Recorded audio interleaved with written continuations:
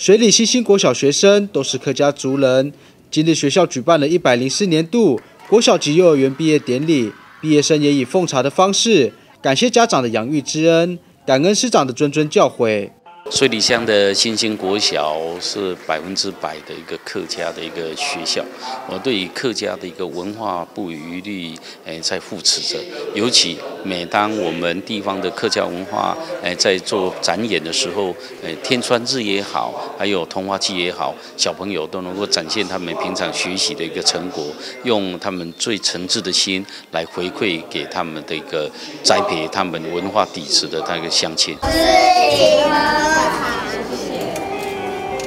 会场也展现学童们的学习成果展，看到孩子们的用心，身为毕业生家长的家长会长也感到非常感动，也肯定校方对学生的照顾，希望学生在迈入国中后，能时刻记得老师们的教导。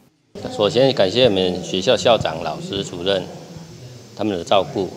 教导我们学校的学生，照顾得很好。他们辛苦是我们看不到的，默默的付出，需要我们毕业生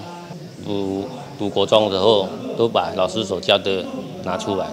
议员陈昭义希望毕业生在国中的旅途上，百尺竿头，努力向上，继续深化客家文化，多方面的学习，达到教育多元的目标。我们希望小朋友诶学有所成，诶进入了国中以后啊都能够百尺竿头，对我们客家文化的扶持能够更加的精进，能够涉猎更广，然后才能够更加的深化，这是我最衷心的一个期盼。